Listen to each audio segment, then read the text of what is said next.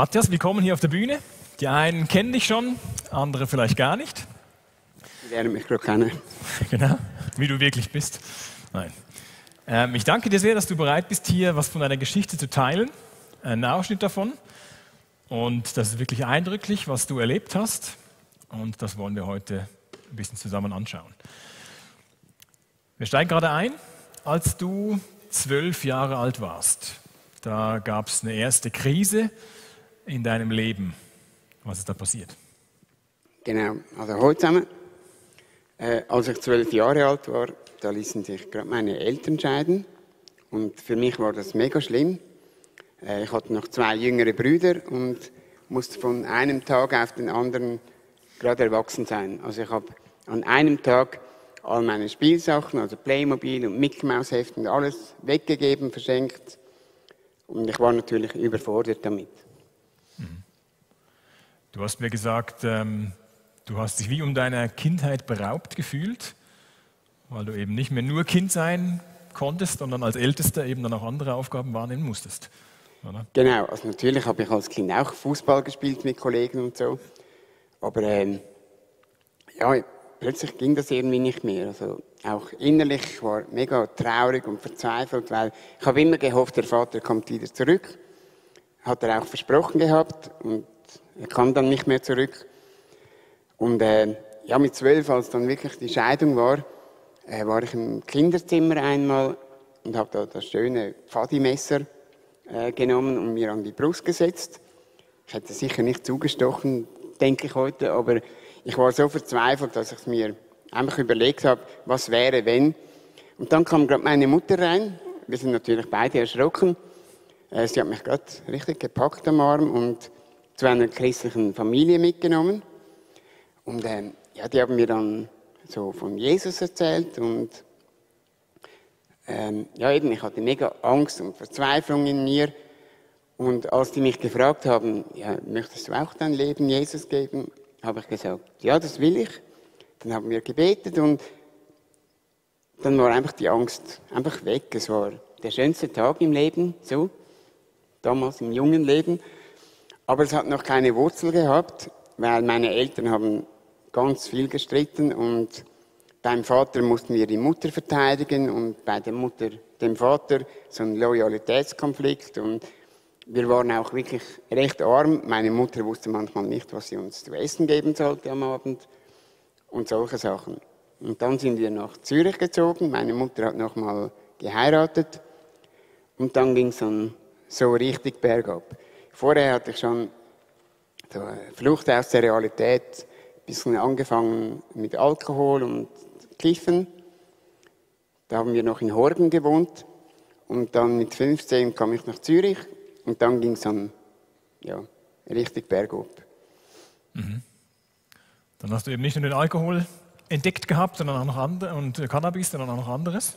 Genau, also eben Saufen, Kiffen und später noch Drogen. Also da war ich dann in der Lehre.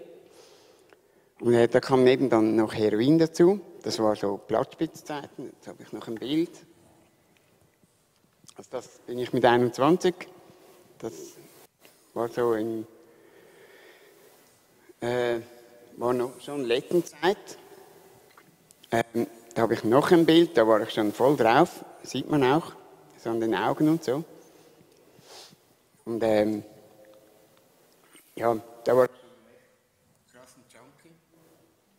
Also zu den heißen Zeiten auf dem Platzspitz warst du mittendrin? Also Platzspitz ich kam erst Ende Platzspitz dazu. Da habe ich ein Bild davon, das Rondell in der Mitte. Äh, die einige von euch kennen das noch oder können sich daran erinnern oder haben gelesen darüber. Das war wirklich wie ein Ameisenhaufen, richtig Drogenbasar, der Needle Park, oder? Und da kamen aus allen Ländern, also aus der ganzen Welt kamen Leute, aus Amerika, Holland, Deutschland, natürlich aus der Schweiz, aus jedem Kanton. Äh, da waren Tausende von Leuten, alle versifft und dreckig und kaputt. Ähm, und ich war aber jetzt gegen Ende vom Platzspitz da. Und später kam, also der Platzspitz wurde ja geschlossen, äh, Anfang 92. Und dann ein paar Monate später war er Letten, oder ein paar Wochen schon ging das eben schon los. Da habe ich noch zwei Bilder vom Letten. Das ist zwischen den Gleisen. Und da war wirklich auch alles voll Dreck. Der Letten war noch viel schlimmer als der Platzspitz. Auch brutaler. Es war alles viel heftiger. Und äh, ich habe da gelebt. Die ganzen drei Jahre. Meine, meine Lehre habe ich noch äh, fertig gemacht. Mit Hilfe von einer Familie, die haben mich begleitet, weil sonst ich bin das letzte halbe Jahr gar nicht mehr zur Schule gegangen. Und äh, sonst hätte ich das gar nicht geschafft. Und äh, nach der Lehre habe ich noch drei Monate in einem Lager gearbeitet und dann geschmissen, oder? Weil ich war dann nur noch am Letten, ich habe da gelebt, dann Obdachlos. Obdachlos, die ganzen drei Jahre dort, wirklich im Dreck und äh, immer wieder mal kam die Polizei, manchmal nur von einer Seite, dann kommt man auf die andere Seite rausflüchten und oft haben sie uns von allen Seiten umzingelt, hattest du keine Chance. Und ähm, ja, dann wurde auch nochmal wurden wir zusammengetrieben und da wurde nochmal gedealt und gefixt und einmal habe ich auch ähm, mit einem Kollegen, der hatte schon AIDS, der hat sich zuerst einen Schuss gesetzt und ich habe dann die Spritze genommen, kurz ausgewaschen, auch den Schuss gesetzt und prompt hat es dann HIV angegeben. Ich habe mir auch Hepatitis eingefangen, A, B und C, zehn Jahre lang chronisch. Also meine Leber war wirklich recht kaputt. Und eben, es war auch brutal. Damals war gerade der Jugoslawienkrieg. Krieg, Krieg. So, die Jugos hatten das Heroin und die Schwarzen das Kokain. Immer Bandenkriege mit Knüppeln, Messer, Pistolen. Einmal eine Kugel gerade am Ohr vorbeigepfiffen. Ein anderes Mal hatte ich gerade fünf Messer an der Brust, weil die haben gedacht, ich hätte was, obwohl ich war ein mega armer Schlucker. Ich hatte überhaupt nichts, nur gerade das, was ich anhatte. Und äh, ja, eben viel Gewalt. Also es sind auch Leute umgebracht worden. Einmal morgens um drei wollte ich mir einen Schuss setzen. Und äh, da kam ein Dealer oder ein Araber, er hat auch Crack, also Kokain geraucht. Das macht auch recht aggr also aggressiv. Und äh, die haben einen Kollegen gepackt, er mit seinen zehn Leuten oder packten einen Kollegen, der hat noch geschrien, hey nein, lasst mich in Ruhe, ich habe kein Geld. Sind die um die Ecke gelaufen, dann hat man einen Schuss gehört und die Gruppe kam zurück ohne den Kollegen und solche Sachen. Und, äh, ja. Jetzt warst du ziemlich tief da drin. Jawohl. Was sagst du zu jemandem heute, der findet, ich möchte nur mal ausprobieren, ich möchte nur ein bisschen damit spielen? Also erstens mal, es ist überhaupt kein Spiel. Man soll es auch nicht ausprobieren, weil man hat die Drogen nie im Griff. Die Drogen haben immer dich im Griff. Und ich kenne einige Leute, also viele kiffen ja nur, in Anführungszeichen. Und ich kenne einige, die sind nur vom Kiffen hängen geblieben, haben Psychosen bekommen, hören Stimmen. Äh, und der Schritt zu den harten Drogen ist natürlich viel kleiner, äh, auch wenn man nicht weitermacht. Und man öffnet trotzdem eine Tür oder für die geistige Welt oder Umwelt. Also ich rate natürlich dringend ab, weil man kann auch nicht Christ sein und doch noch ein bisschen kiffen. Ich habe auch mal gedacht, so der Vers kannte ich, so uns ist alles erlaubt. Aber auch wenn es nicht, nicht alles gut war, so als Rechtfertigung fast so, damit man ja nichts ändern muss. Ähm, also du sagst, es ist funktioniert nicht. Du sagst, es ist Selbstbetrug, oder? Es ist ein Selbstbetrug. Äh, man kann auch keine Probleme lösen damit. Im Gegenteil, äh, es kommen neue Probleme, weil man lässt dann alles schleifen. Es ist einem einfach egal. Rechnungen werden nicht bezahlt oder man vernachlässigt die Schule oder die Arbeit oder Freizeit, was auch immer. Und eben, es löst keine Probleme. Also die Flucht aus der Realität, die hat nicht wirklich funktioniert? Nein, nur am Anfang. Ja. Und man braucht immer mehr Stoff für äh, das gleiche Level. Woher kam das Geld? Ähm, naja, einerseits, äh, ich habe gebettelt. Das ist alles. Nein, ich habe noch viele, viele Sachen gemacht, was ich heute nicht mehr machen würde. Also ich habe Wohnungseinbrüche begangen. Einmal bei einer Staatsanwältin, habe ich im Nachhinein erfahren. Das ist nie gut. Also auch ist sonst nicht gut. Aber nicht zu empfehlen. Sonst, genau. Überhaupt nicht zu empfehlen.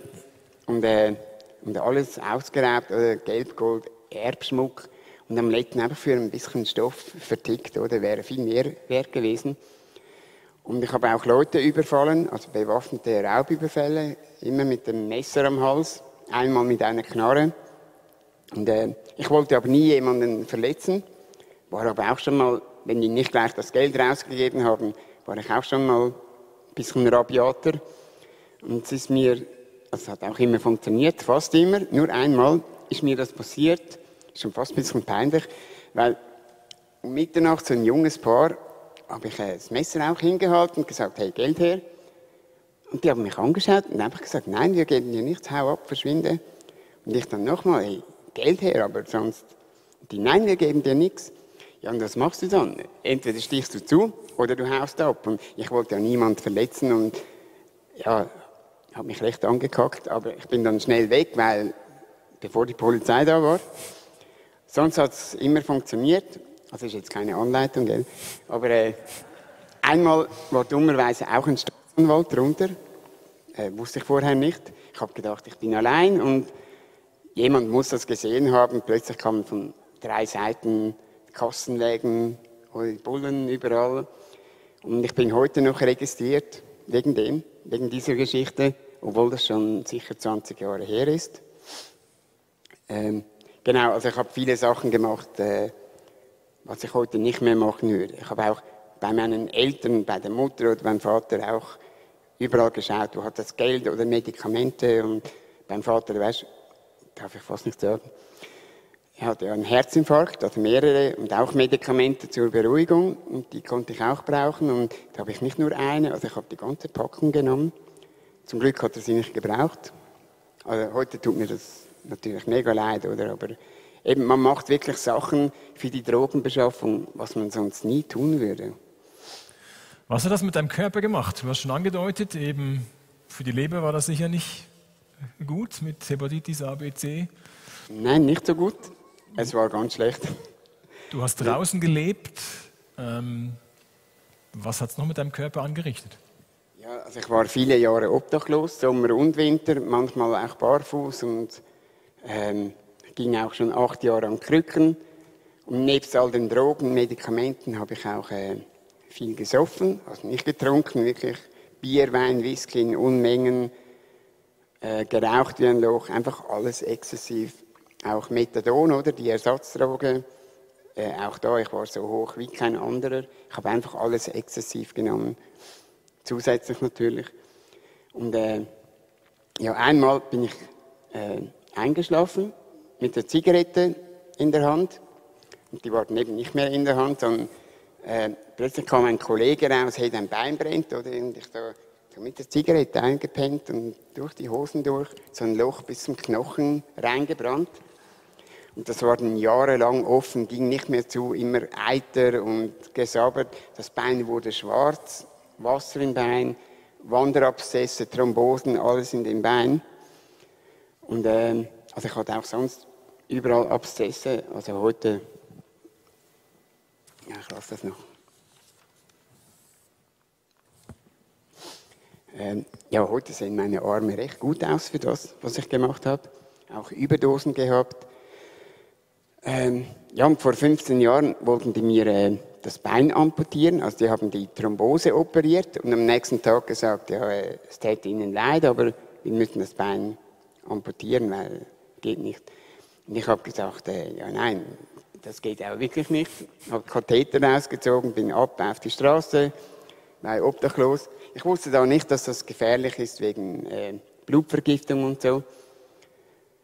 Ja, und zwischendurch, ich war auch ein paar Mal im Knast, in U-Haft und äh, einmal in Urdorf, das ist so Halbgefangenschaft, also für mich nicht, aber für andere. Und die haben auch immer Stoffe reingeschmuggelt, Cannabis, Drogen, äh, Alkohol. Ins Gefängnis? Ins Gefängnis. Und die, alle haben mich gekannt, oder? Ich hatte jeden Abend meinen Alkohol und etwas zu kiffen gratis.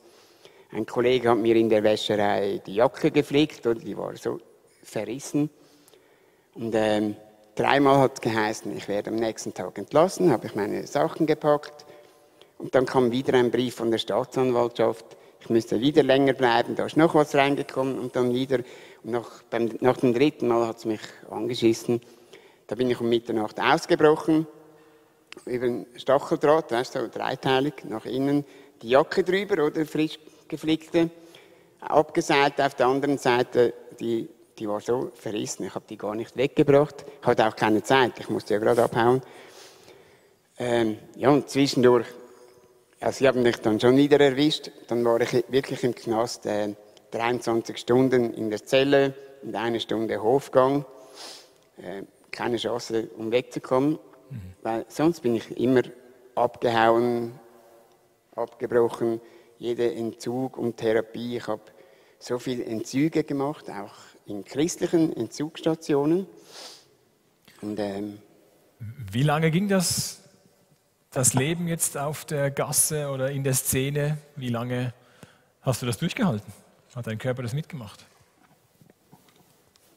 Insgesamt? Ähm, ich war sicher 25 Jahre drauf, habe sicher 20 Mal in der PUC, also in psychiatrischer Universität, wegen meistens Entzug oder auch Depressionen, wegen Suizidversuchen, auch christliche Entzugsstationen, viermal eine Therapie angefangen. Ich habe keine fertig gemacht. Ich bin sogar der Erste, der aus dem Heroinprogramm geflogen ist damals, weil Genau, und mein Körper, es wurde immer schlimmer weil die Leber hat nicht mitgemacht. Ich hatte schon beginnende Leberzirrhose. Innen dran war alles voll, voller Zysten oder Leber, Bauchspeicheldrüse, Magen war alles befallen und es ging einfach nicht mehr. Ein Schluck Bier vor 14 Jahren, ein Schluck Bier hat mich gekrümmt vor Schmerzen. Aber den Alkohol brauchte ich trotzdem, weil ich habe so gezittert morgens um fünf. Ich musste wirklich, ich brauchte den auch, nebst den Drogen und allem. Dann kam das Jahr 2007 und da gab es die Wende. Genau. Also Was ist war, da passiert? Ich war auch äh, ein paar Mal Gast im Sunecke, also Patient im Sunecke vom Pfarrer Sieber. Kennt ihr vielleicht die einen? Leider lebt er nicht mehr. Ähm, Was ist der Sunecke? Äh, Sunecke, genau, ist äh, ein AIDS-Spital oder heute einfach auch Obdachlosenspital, weil nicht jeder hat HIV dort, aber einige schon. Da war ich auch sicher dreimal. Und äh, mit, mit, mir ging es immer mehr bergab, auch körperlich. Ich ging schon acht Jahre an Krücken, am Schluss schon im Rollstuhl und noch auf die Gasse. Also es ging immer schlechter. Und äh, ich bin dann auch eines Abends, weißt, bin ich wirklich zusammengebrochen. Ich habe noch gebetet, Herr, also Gott, wenn du mich willst, dann nimm mich. Und äh, ja, auf der Straße, auf der Gasse früher, meine Gebete waren mehr so, dass es mit dem Dealer klappt und die Polizei nicht kommt und so bete ich heute nicht mehr. Aber äh, genau, dann bin ich zusammengebrochen und wirklich körperlich und psychisch, ich war total fertig am Ende, wirklich auf dem Sterbebett in Quarantäne, war alles kaputt. Und äh, dann habe ich auch gebetet also meine Mutter kam noch, so in Vollquarantäne, ich habe sie gar nicht erkannt, nur an der Stimme mit meinem Bruder. Und ähm, dann habe ich gebetet, hey Jesus, hilf mir, weil ich sterbe. Und am nächsten Tag wollten sie mich operieren, habe nochmal geschaut und da innen die Zysten, das war alles weg. Und äh, sie konnten sich das nicht erklären. Also war wirklich so ein Wunder. Und dann haben sie gesagt, ja, es täte ihnen, das war dann vor 14 Jahren, es täte ihnen wirklich leid. Aber sie müssen jetzt wirklich das Bein amputieren wegen Lebensgefahr. Eben, das war schwarz. Das war, man hat den Fuß und das Knie gar nicht mehr gesehen. Es war so angeschwollen. Ähm, ich habe gesagt, ja, aber nein, äh, jetzt wartet noch, lass das Bein. Wenn Jesus das heilen kann, kann er auch mein Bein retten. Die haben gesagt, ja, lange können wir nicht warten, aber weil sie keine Erklärung hatten, hatten sie noch etwas gewartet. Eine Woche später konnte ich zurück in die Sunecke und dann, oder, Matti live, wie ich bin, kam wieder auf den Beinen mit den Krücken, gleich wieder auf die Gasse Stoff holen, habe mir einen Schuss gesetzt und ähm, dann hatte ich den ersten richtigen Horrortrip, weil ich weiß nicht, welches Streckmittel da drin auch noch war, aber ich habe äh, vom Hauptbahnhof die paar hundert Meter in Sonecke nicht mehr allein geschafft. Ich musste meinen Bruder anrufen und der hat mich da, also ist am Bahnhof gekommen, hat mich in Sonecke gebracht. Dann kam meine Mutter mit einer Pastorin vorbei, die haben für mich gebetet wegen Drogen und Alkohol. Dann wieder Mackie Live, nächsten Tag auf die Gasse, Stoff holen, in so eine Ecke reingeschmuggelt. Aber als ich das auflösen wollte, ähm, habe ich gedacht, ja, aber hey, äh, jetzt wolltest du doch wirklich aufhören. Und ich wusste auch, mein Körper macht es einfach nicht mehr mit, das dauert sonst nicht mehr lang. Dann habe ich den Stoff genommen, bin ins Büro und habe gesagt, hey, ähm, ja, ich möchte aufhören, aber ich schaffe das jetzt nicht allein. Und ich wusste, oder, wenn man Stoff in so eine Ecke reinbringt, bedeutet das Ausschluss, obwohl es jeder macht. Aber ähm, der ist mit mir auf die Toilette im zweiten Stock, hat mir den Stoff in die Hand gedrückt und gesagt, ich muss selber das Klo runterspülen. Und ich zuerst ja kurz gezögert, weil es war ein guter Stoff. Aber ich habe es dann gemacht. Der erste Gedanke war, oh Scheiße, jetzt ist der Stoff weg.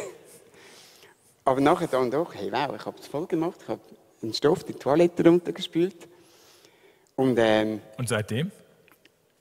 Und seitdem habe ich keinen Rückfall gehabt mit Drogen und Alkohol. Ich hatte noch Methadon, äh, Medikamente vom Arzt und geraucht noch. Und, äh, aber sonst nichts mehr angerührt.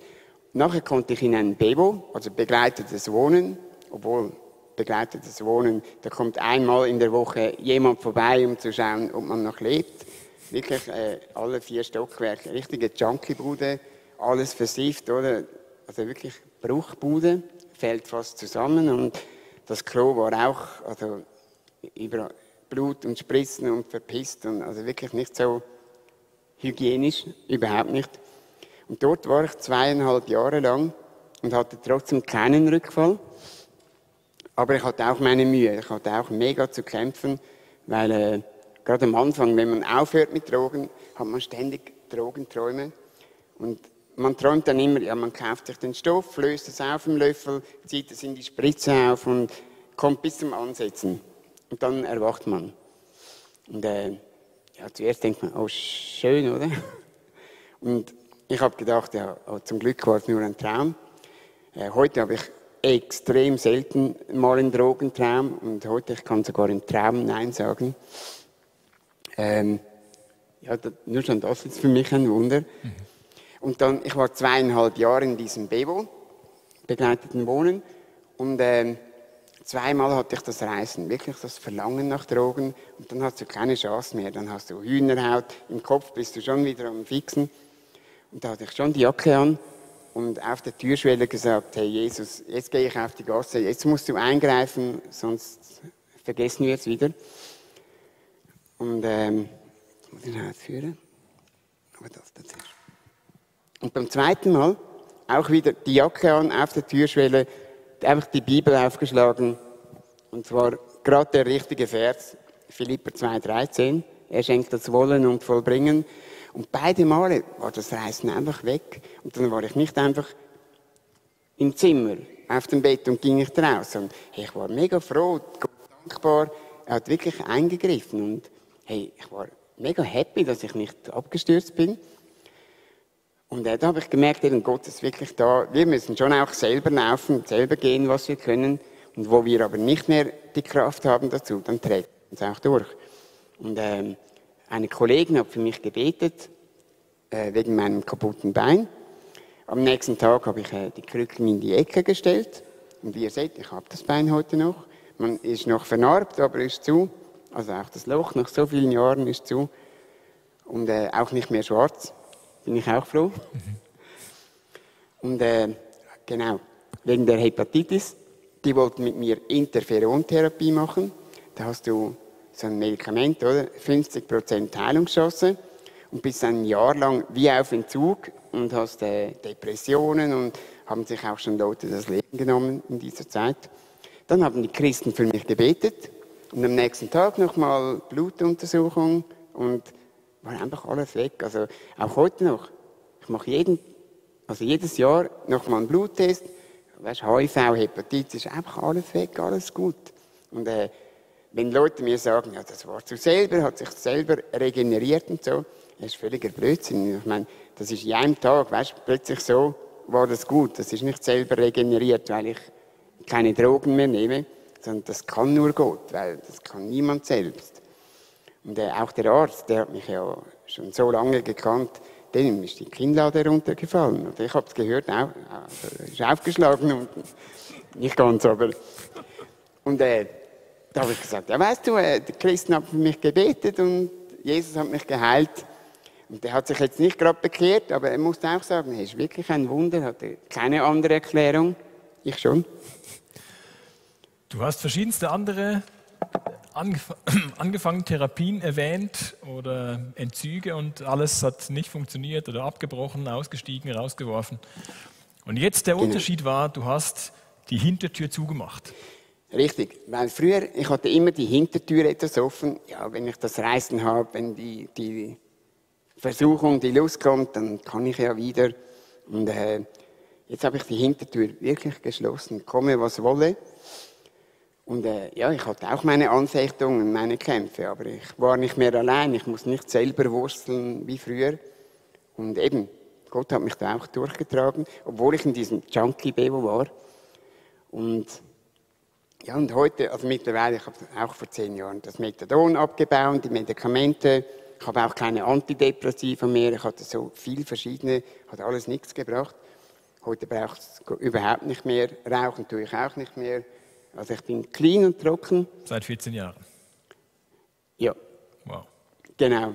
Und ja, heute mache ich selber Gassenarbeit mit dem Christenhäuschen und auch im Sonnecke bei der Bibelstunde mit.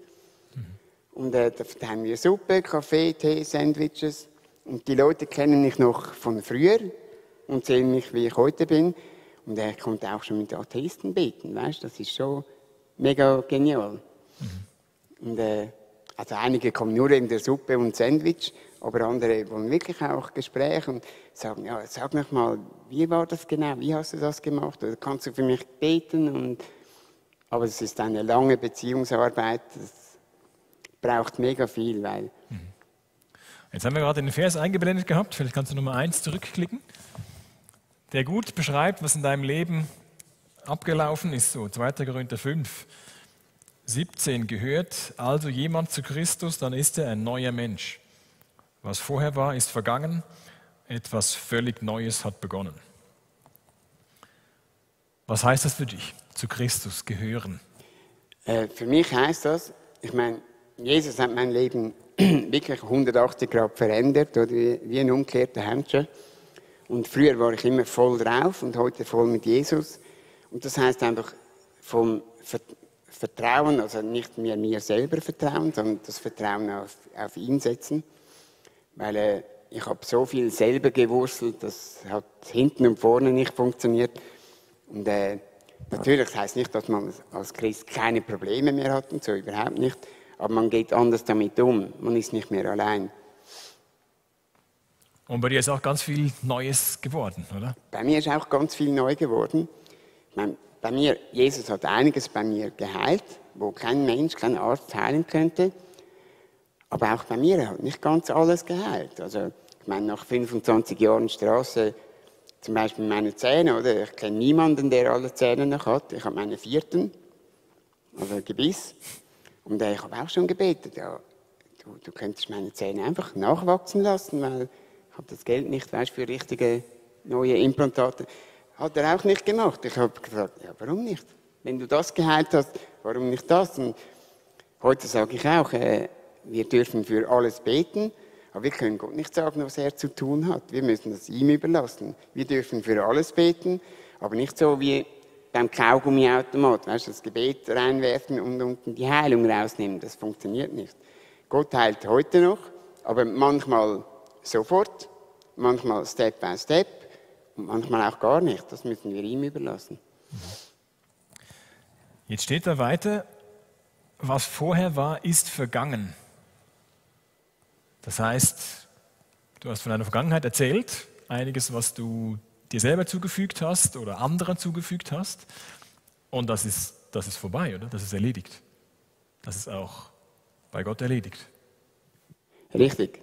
Also in diesem Bevo habe ich auch gemerkt, wo ich äh, alles, was mir in den Sinn gekommen ist, habe ich vor das Kreuz gebracht und um Vergebung gebeten und richtig richtig gespürt, förmlich gespürt, wie mir eine Last abgefallen ist. Ich meine, ich habe so viel Scheiße gebaut in meinem Leben. Ähm, ja, da habe ich mich richtig leicht gefühlt. Also Jesus vergibt auch gerne und alles. Ihm ist egal, was du gemacht hast. Mhm. Zum Glück. Du hast dann doch acht Jahre Pause gehabt, die du nicht auf der Gasse verbracht hast oder auch nicht dich dort gezeigt hast, oder? Ja, richtig. Ich habe einen Cut gemacht, also wirklich acht Jahre Pause von der Gasse, auch von allen Kollegen einen richtigen Bruch gemacht. Das war auch nötig. Weil es ist auch schwierig, wenn man aufhört mit Drogen. Das ist ja trotzdem, wenn du auf der Straße lebst, deine Komfortzone. Und da auszusteigen, auch wenn du im Dreck lebst, das ist das, was du kennst. Und äh, das Neue, wenn man aussteigt, du weißt nicht, was auf dich zukommt. Da musst du auch Verantwortung übernehmen, Schulden zurückzahlen. Das ist schon ein, ein großer Schritt. Äh, ja. Aber Gott hat dir wie einen Neuanfang geschenkt. Richtig, also mit mhm. Gott kann man immer neu anfangen. Mhm. Und menschlich gesehen, ich war wirklich ein hoffnungsloser Fall, aber bei Gott gibt es keine hoffnungslosen Fälle. Für das bist du ein gutes Beispiel. Genau. Ja.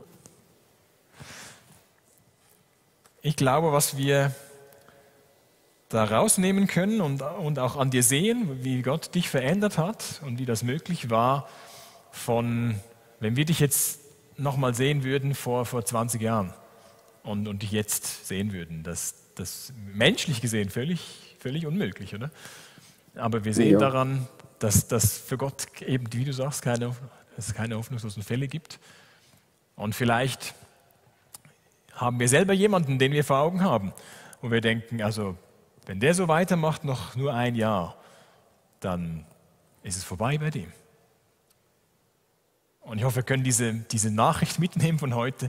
Bei Gott gibt es keine hoffnungslosen Fälle und wir können das ihm bringen und können den Menschen mit, mit zu Gott nehmen und ihm die Person anvertrauen. Oder vielleicht gibt es bei uns selber etwas, wo wir finden, das ist so eine große Sache, die ist auch für Gott zu groß. Oder ich bin schon so lange damit unterwegs und beschäftigt. Auch dafür gilt, bei Gott gibt es keine hoffnungslosen Fälle. Und Gott ist für kleine Sachen da, wenn ich ein schlechtes Gewissen habe wegen irgendetwas, aber er ist auch für die ganz, ganz großen Sachen da. Das sehen wir bei dir, dass du sagen kannst, er hat mir alles, große und kleine, vergeben und ich durfte eben neu anfangen, etwas völlig Neues hat begonnen. Jetzt hast du die Seiten gewechselt und kannst anderen Menschen Hoffnung geben. Genau, weil einige sagen mir auch, ja, wenn ich das erlebt hätte, was du erlebt hättest, dann würde ich auch glauben.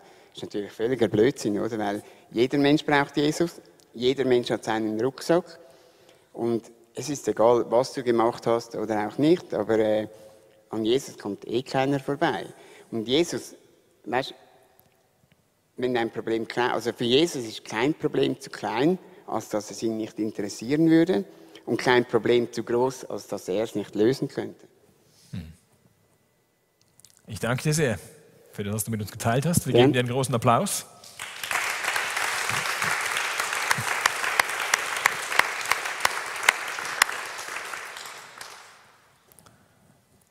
Vielleicht kannst du einfach noch mit uns beten. Ja, danke, Herr Jesus, für den Morgen.